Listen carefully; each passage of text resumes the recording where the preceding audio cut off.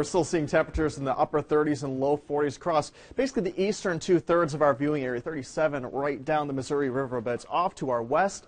Sub freezing temperatures, that means sleet, freezing rain, and even snow coming into the forecast this morning. But wind chills, we're going to have persistent north winds today.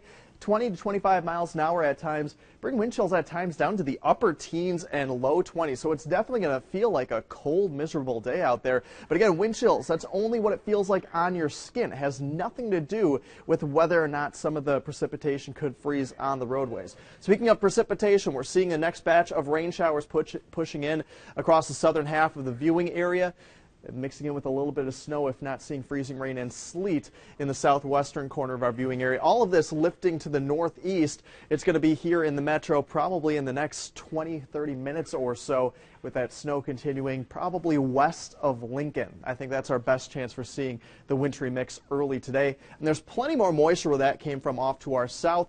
More heavy rain back across portions of Missouri and Iowa. That's where they have flood watches in effect in those green shaded counties. Winter storm warnings in the pink shaded counties. That does include the Norfolk area, mainly for freezing rain and sleet. You guys are probably only going to see about maybe three, four inches of snow on the high end out of this, and the winter weather advisories in effect off to our west. Lots of cold air off to our west. 19 Valentine right now, 21 Pierre, 24 in Hastings.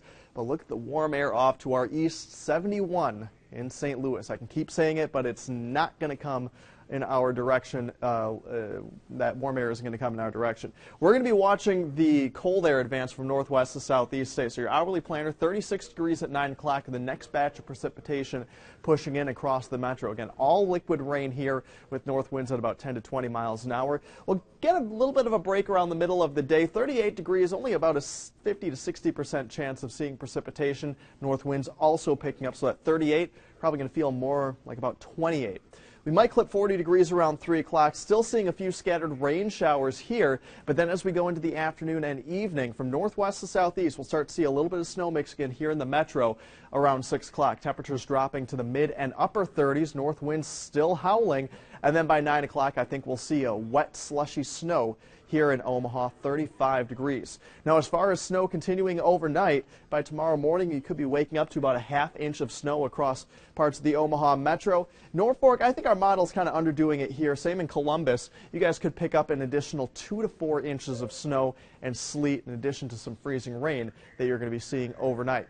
Now, our temperatures are going to stay cold over the next few days and continuing with the wind. 39 tomorrow, scattered snow showers, breezy northerly winds.